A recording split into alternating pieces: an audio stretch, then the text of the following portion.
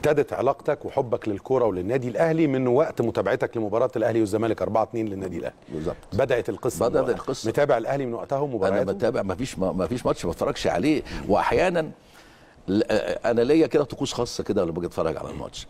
بلبس لبس محدد مثلا. يا قلب لو أنا مثلا الأهلي كسب فاللبس اللي أنا لابسه ألبسه في الماتش اللي بعده.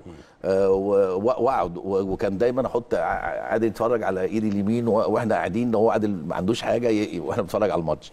دلوقتي أنا بتفرج لوحدي. أنا ممكن أزعق وممكن يعني أقول حاجات كتير وألعب الكورة. مشجع درجة ثالثه لأن أنا بحب ال- ال- النادي الأهلي. والاهلي دايما عودنا إن هو نمرة واحد. ما فيش نمرة اتنين دي عندنا خالص. دي مش في القاموس يعني.